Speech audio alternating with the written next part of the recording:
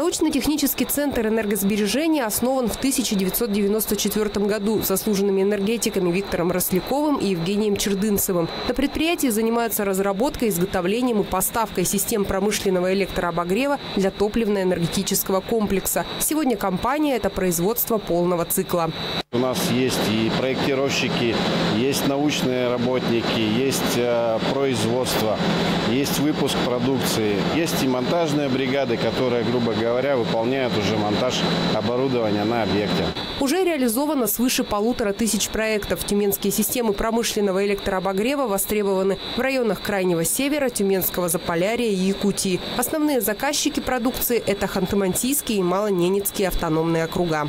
Наша особая методика проектирования и потом это вот оборудование, которое позволяет делать очень качественную продукцию, все такие свои секреты, позволяет делать очень надежные системы, очень надежные, высоко, даже можно сказать высоконадежные, с большим сроком службы и энергоэффективные. Энергопотребление может быть в 5, а то и в 10 раз меньше, чем у аналогичных систем.